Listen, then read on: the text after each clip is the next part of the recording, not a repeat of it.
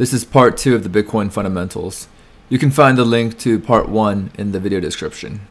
Our goal is to make corrupt data stick out like a popsicle in a desert and make it expensive to even try to corrupt the system. So here we have a transaction and it's disputed. John paid Anna $20, but there are disagreements around how much John actually paid Anna. And I'll introduce the idea of hashing that will uh, give light to how we might accomplish this goal. So in hashing, we have some data. It could be like this transaction, for instance. And you apply a hashing function to it. You can think about the hash hashing function as just like a way to scramble the data in some way that cannot be retraced to the original data. So this is transformed data, and you cannot get from the transformed data back to the data. It's like it looks like a bunch of gibberish to you. It's hard to reverse engineer how to get back to the original data. And the hashing function always produces the same output for the same input. But if you have some input that's uh, you know slightly some that's that's only slightly different than the other input, the output is still completely different. So the output is uh, for for our purposes basically random. But for each input, the output is always the same no matter how many times you run it through the. So if you run the hashing function on that data once, same transform data. You run it again on the same data, same transform data, never changes.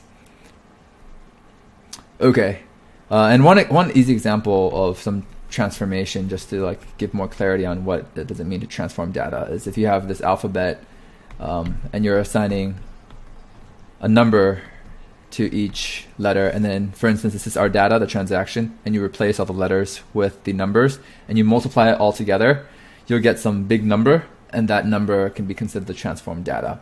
Except in this example the it's it's doable to convert the transformed data back into the original data and you don't want that. So that's what hashing is. And what we want to do here involving hashing is we want to uh, impose some rules for the structure of transformed data. So if you have some transaction and you apply the hashing function to it, based on the structure of the transformed data, we can say, aha, that is not valid, that is valid. Um, and one way, you know, one example of structure is let's say the transformed data must have five zeros at the end.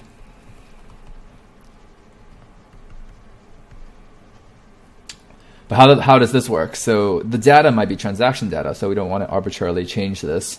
So if we have some data here, we put it through the hashing function. It doesn't have five zeros at the end.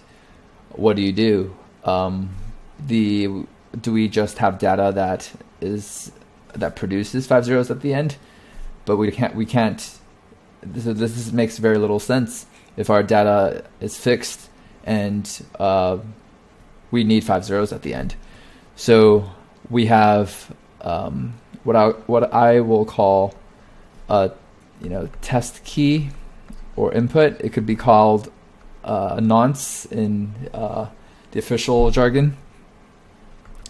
And here is basically where you can you know, put whatever you want with the data in order to get a transformed data that follows the structure. So in this in this setup, we have a rule now. When I uh, uh, apply a certain hashing function, the transformed data must have five zeros at the end, and you can have this test key slash input to you know, keep trying out different test keys until the transformed data has five zeros at the end.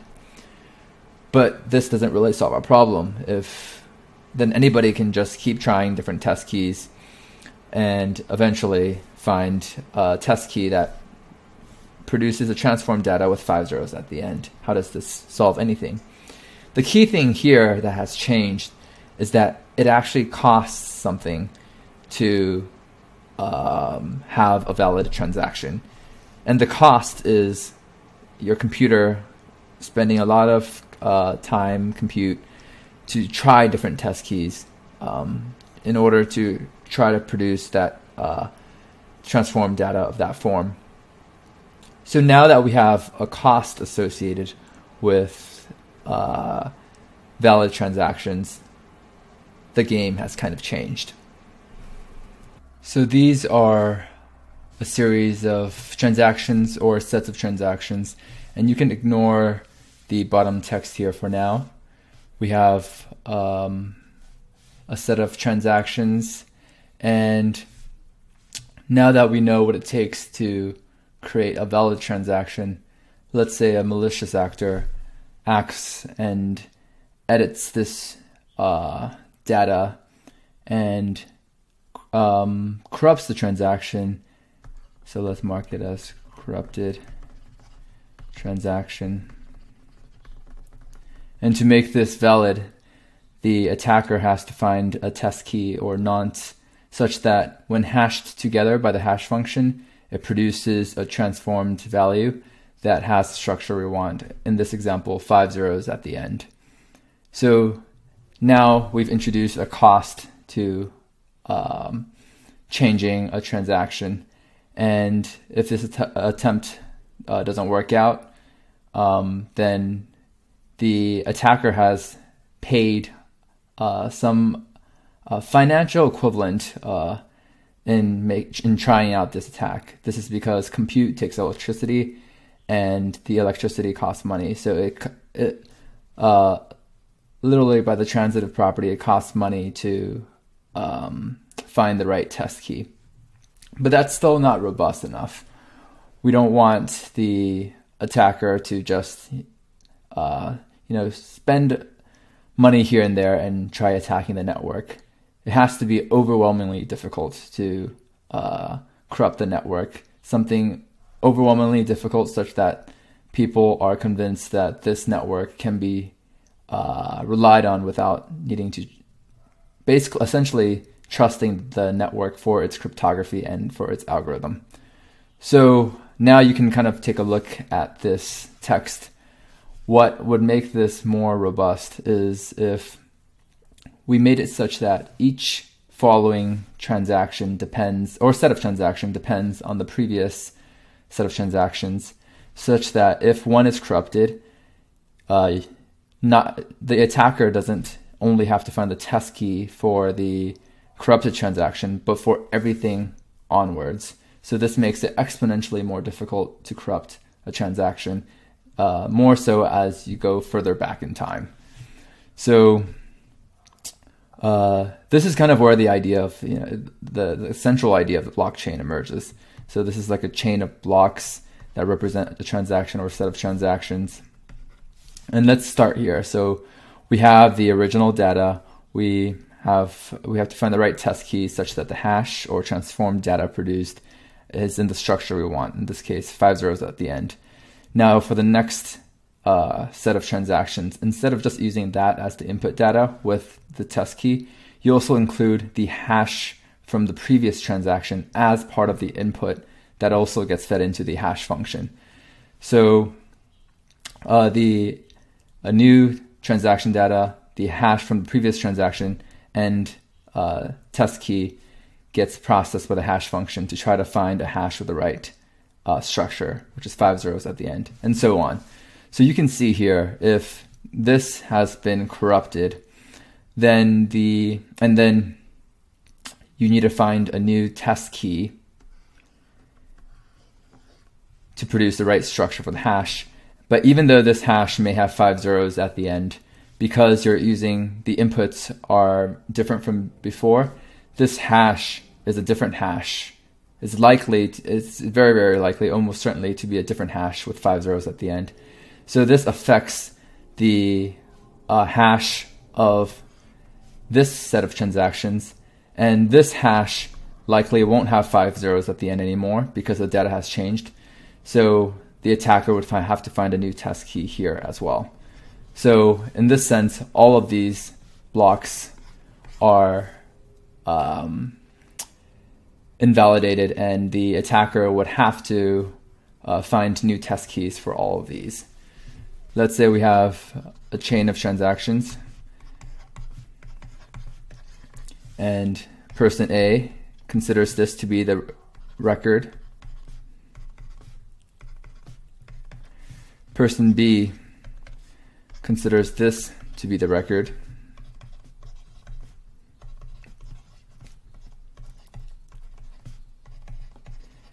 And if person B with their squad tries to corrupt the chain, let's say they start here.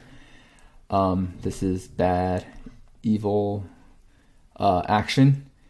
They'd have to find the new uh, test key for this one, this one, this one, this one, and so on. And if we make the heuristic of the network in determining what's truth to be just the longest chain, here is how this becomes very, very difficult. So we have the, let's say we have the the actually correct chain represented by A, and all the good actors are contributing to A. So all the good actors are trying to find the test keys that build onto A, and B and B's friends are trying to uh, produce a, a corrupt version. And to be clear here, if B successfully manages to extend longer than A, then this is considered truth. So B's chain. And then the all the actors, even the good actors, start building on top of this chain instead of the uh, previously considered good chain. Now, the reason this is really tough is uh, let me first cl- uh, clear this up really quick. Um, okay. Is because the speed at which you're able to find the test keys is directly correlated to how much compute power you have. So the more compute power you have, the fast, the more opportunities you have to you know try different test keys, validate blocks, add to the blocks. So uh, if B controls less than 50% of the world's compute power in this network, then they, B will find test keys slower than the chain in A. So let's say B figures out the test key for this, check, but in that time, this chain has already been extended by two because A is operating uh, fast. It has more compute, so it's fast finding test keys faster. So now instead of needing to find the test keys for one, two, three, four, now uh, B has two additional ones to find the test keys for to become lo- the longest chain. So let's say B finds the test key for this. Okay, that B has, but then uh, A finds two more. So now you can see the difference still continues to grow. So uh, in this scenario, it's very hard for B to become the longest chain unless it has um, greater than 50% of the compute power and uh, that's really really hard to get. Um, not impossible, but the key thing here is if B or if the the person or group behind B decides to attempt this attack, it's extremely potentially expensive. So if B fails, uh, B probably has wasted a lot of money in the form of electricity. Um, so you know there there are other things to consider like you know uh, instead of like the, there's a myriad of things that are in the hacking world that can be uh, potentially problematic but we won't consider that here. But overall um, even considering some edge cases this seems like a robust system. It's very difficult for malicious actors to control that much compute and they're disincentivized to do so because of the cost associated with one attempt so, this idea of requiring some computational work and requiring proof of that computational work, this is known as proof of work. And uh, a, lot of blockchain systems, including Bitcoin, are based on this notion. So, going back to this uh, decentralized graph representing our network, we kind of have some of the answers to our previous questions. When A sends uh, transaction or sends a payment to B, it broadcasts this transaction to everybody, and everybody updates their records. And uh, in updating its records, uh, there's work that needs to be done in the form of finding that test key. And all the good actors they operate on the longest chain. They uh, work to find that uh, test key for the newest transaction, and if there are if there's a coordinated attack by malicious actors, uh, the malicious actors will have to find test keys faster than the rest of all the good actors, which is very unlikely. So that's how we establish this trustless record keeping system, this blockchain system that allows this financial system to uh, work without any central authority.